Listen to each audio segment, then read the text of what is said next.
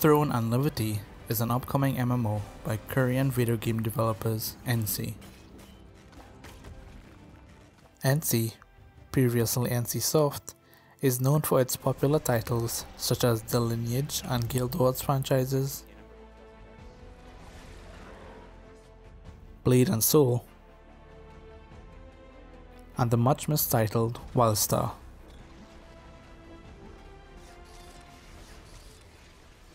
And Liberty started its development as part of the Lineage series.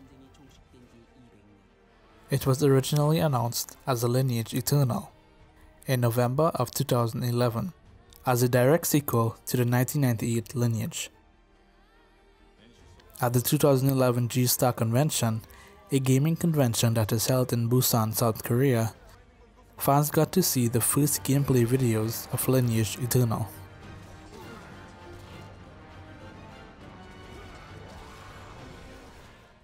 The game featured an isometric camera view rather than the third person it has come to be, and played a lot like the Diablo series and even the more recent titles like Lost Ark. Lost Ark was revealed three years later, and they both went on to become competitors. The two often got compared with discussions of which game would release first and who would have more success. I can't imagine how the developers felt when this game eventually did not get released and Lost Ark did, gaining global success instantly.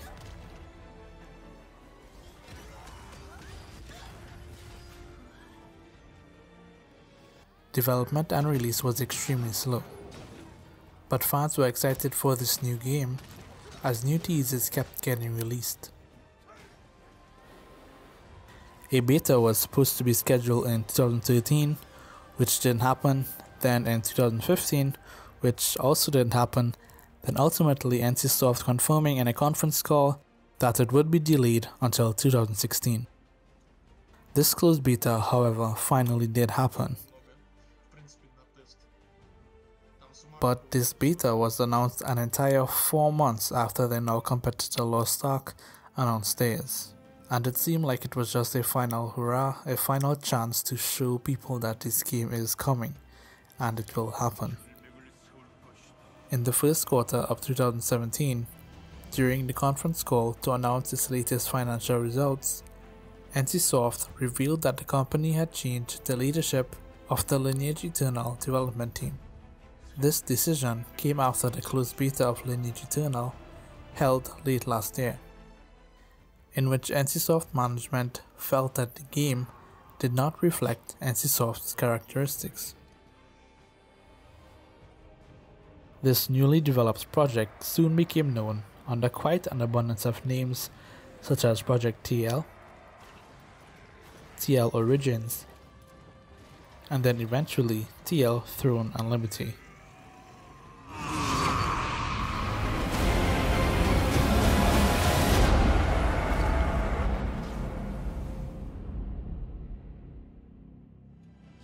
The new and final IP, Throne and Liberty, is a fully fledged third-person MMORPG, with NC commenting that it is a spiritual successor to everything that the Lineage franchise stands for, including its massive PvP battles. The new game is no longer isometric, and as a result, is no longer a direct competitor with Lost Ark. True fans of the journey, however, I think would always remember where it came from.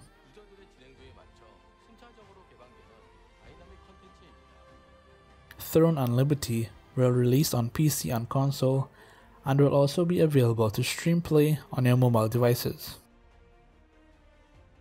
Now Throne and Liberty is packed with features that I think can really shake things up in the MMO world.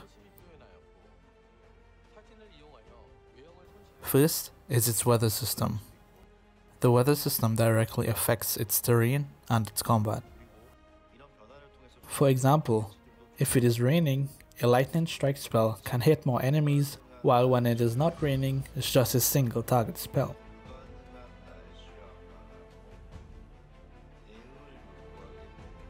The terrain can possibly turn into impassable terrain by pooling too much water and change the entire feel of a certain environment.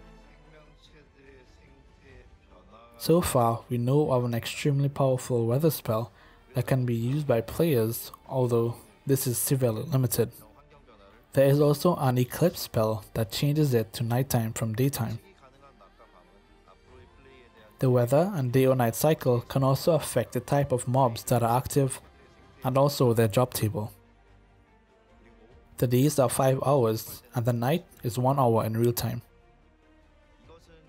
The day and night system affects certain skills, having different effects based on what time it is. For example, this dagger skill, during the day the poison damage is increased, while at night the poison duration is increased. The ratio of sunny to rainy weather is 4 to 1, and when the weather changes, it is kept for 30 minutes guaranteed.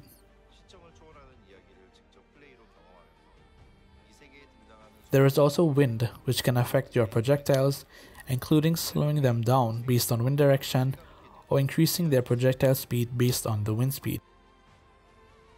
Wind can also affect the gliding from your eagle. So maybe that small gap you wanted to jump over, you jump and the wind blasts in your face and your eagle just struggles to make it over and you fall to your death. that might happen. And what eagle am I talking about you might ask? In Throne and Liberty, there aren't going to be any mounts you mount onto. Instead, you are the mount. you heard that right. There is going to be a system in which you can transform into various animals for specific travel.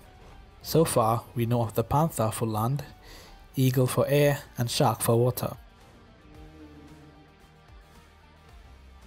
There is even a siege golem for the open world PvP in which players can stand on top of your flat head and get moved around.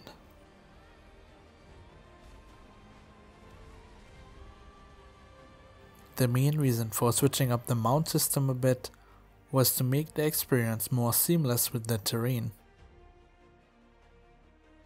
The developers had stated that players enjoying the three-dimensional terrain is key to the player experience in Throne and Liberty. 보통 지하 던전이라고 하면 입구와 던전이 분리되고 던전 안에서도 여러 층으로 분리된 공간으로 구성하는 경우가 많은데 저희는 그 모든 공간을 하나로 연결했습니다. They've also stated that combat can impact multiple depths, so you can be above and healing your teammates below, or camping a corner below and sniping people that are coming from above. 단번에 던전의 마지막 층으로 이동할 수도 서로 다른 층에 있는 유저들에게 도움을 줄 수도 피해를 줄 수도 있습니다. 던전의 안과 밖, 위와 아래가 연결됨으로써 공간적인 경험을 모두가 공유하게 됩니다. 그리고 단순히 필드를 뛰어다니는 것만이 아니라 입체적으로 구성된 지형에서 자신만의 루트를 만들어갈 수 있습니다. The world is one big continent with the mount system in place to reduce teleportation in between areas. So they are actively encouraging you to explore with your animal form rather than TP between spots.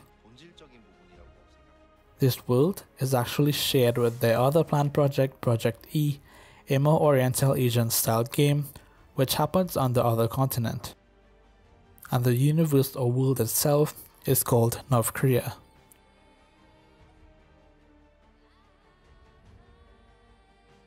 In Throne and Liberty, your role and abilities are determined by your weapons. Sort of like New World. This is called the free class system. The max amount of skills we've seen so far is 8 abilities, not counting your mouse buttons. The holy trinity of healer, DPS and tank is very much expected to be in this game, with skill images being rather obvious.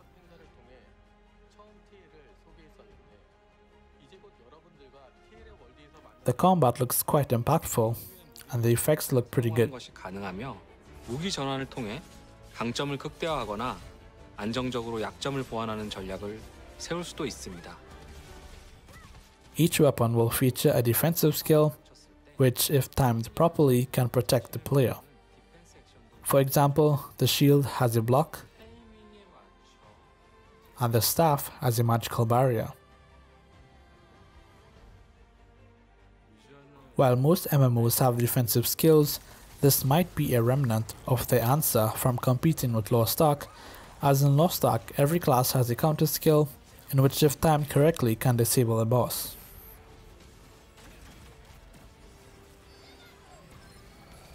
Character creation is designed for a worldwide audience, so definitely a breakaway from the Asian only designs we've come to know from a lot of these games.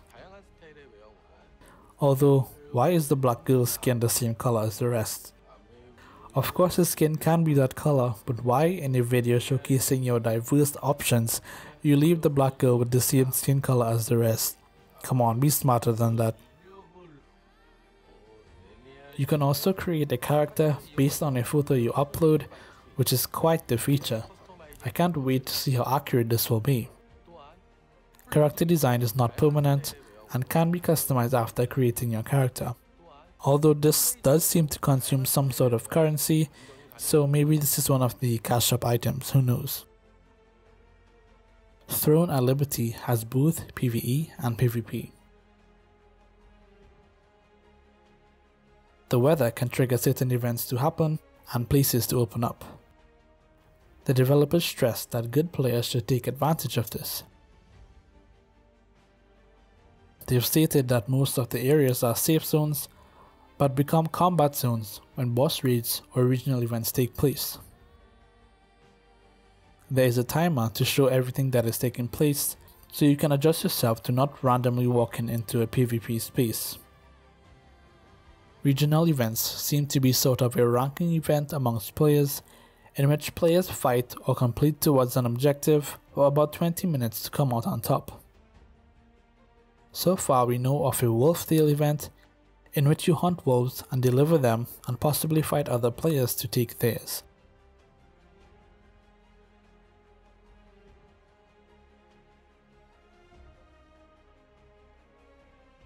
As you can see here, the subjective states enter within the top 80 at a regional event. So there is going to be leaderboards and ranking. There is a huge PvP battle called Siege Warfare, in which you try to take or defend castles. We don't have much information about this, but it seems you have to channel something to claim it and finish off any of the opposing players in order to capture the stronghold.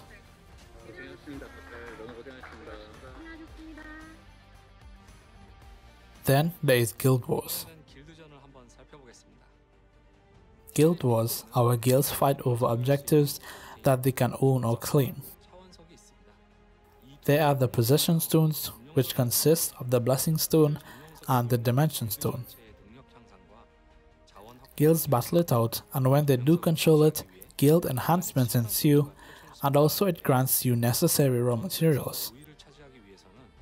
So we are fighting for materials. I'm very excited for this bit as it seems to be a really good way to have players participate in PvP. There are quite a few features that we know about, like memorials and possible uh, pets. What is that? Anyway, the information is quite vague, so the last thing I will talk about is some of my concerns. Firstly, it's NCSoft. NCSoft is notorious for cash shop and pay to win, and all of the predatory microtransaction stuff you can think about. They actually addressed this in a conference call, and this is what they had to say. Yes, I will respond about the TL first and, the business model that is going to be used. Of course, later on when the time comes, we will be able to provide you with more details regarding how the, uh, portfolio of items that we will be offering. Uh, but of course, we are going to make sure that we, um, we actually really focus on play to win to make sure that we minimize the gap across the users as much as possible. But I would also like to add that there has been changes in the overall global game market regarding the monetization models. Previously, uh, people in North America and Europe, they were very negative and critical about the monetization BMs, but we now see a gradual acceptance of, for instance, battle passes, DLCs, and in-game items even in these markets. And so these large game studios, since the development period is very long and because development of game titles entails significant level of investment, They also, like NCSoft, by providing the live services, would do wish to continuously create the revenue stream, and that has become a very important differentiating factor. So of course, we will stay away from pay to win as much as uh, possible. Um, however, at the meantime, strike a good balance so that we can bring about a good and robust performance from the game titles. So it seems like there is going to be a cash shop and it is going to have materials or gear that give you an advantage. I only say this because they specifically mentioned that they're trying their best to minimize the gap, which means there is a gap, which means some sort of advantage would come from paying money. I hope it isn't too much though. My last concern is the combat. Did you notice anything from the entire video and seeing flashes of combat? They ain't moving, they're all standing still. Let me tell you, if this beautiful ass game releases with static combat, I am going to throw a fit. Don't throw yourself under the bus please, NCSoft, I am begging you. On the other hand, static combat may be because of the gameplay, like boss fights and the players needed to be in formation in a specific spot. So we'll see if it does release with static combat but maybe it's made for how the game is meant to be played. I will see you guys in the world of North Korea.